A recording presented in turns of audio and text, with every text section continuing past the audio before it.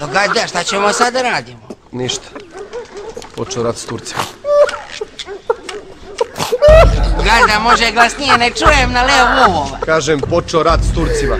Šta počeo? Počeo rat, pizdati materina!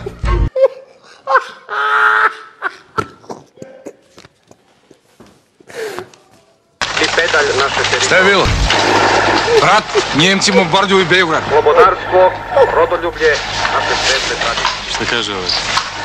Rat. A? Rat. Ne čuje dobro. Počeo rat, bre, pizdati materina.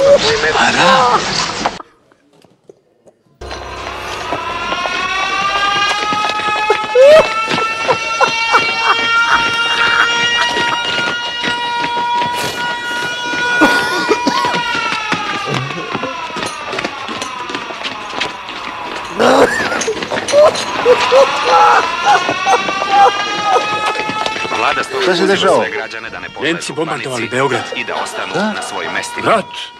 Vojska Rat, je bre. u stanju pune bojne gotovosti i Šta neće kaže? dozvoliti neprijatelju da Rat. posedne ni Neće. pedalj naše teritorije. Rat pizdati materina.